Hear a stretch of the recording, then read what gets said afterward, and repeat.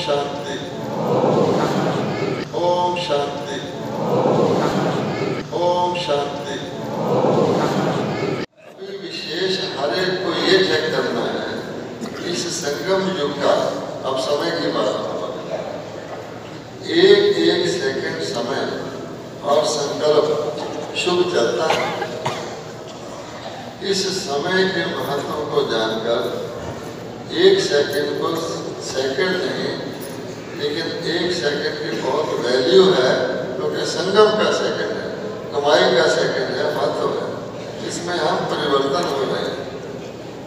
कभी कभी बच्चे कहते हैं कि संकल्प कुछ चला, दो चार सेकंड चला तो बाबा ने क्या कहा? दो चार सेकंड इसको नहीं समझना। लेकिन संगम का समय वैल्यूएबल है।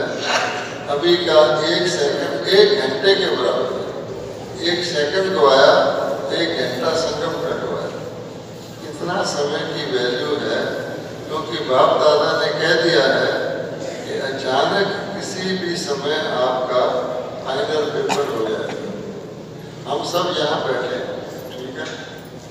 तो कहा जाता है कि मनुष्य के सबसे बड़ी दुनिया में आश्चर्य की बात है। ये शास्त्रों में भी लिखा हो। कोई पानी पीने गया था, उसे क्वेश्चन किया गया कि ये आंसर देगा तो तुझे पानी पीना अलाउड होगा। इस दुनिया में सबसे बड़ी आश्चर्य की बात है? बाबा ने तो आपको ज्ञान से कई बातें बताई हैं। उसने कहा, हर व्यक्ति जानता है कि मैं शरीर छोड़ना है।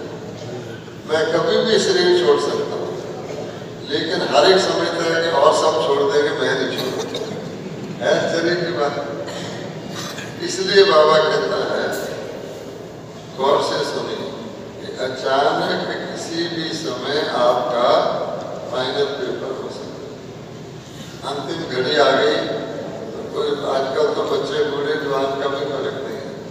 तो उस वक्त जो आपकी फाइनल फ़ोटो होगी तब आप कहेंगे, दो दो दिन और जी लेता तो और मैं पुरुषार्थ कर लेता। इसलिए अभी से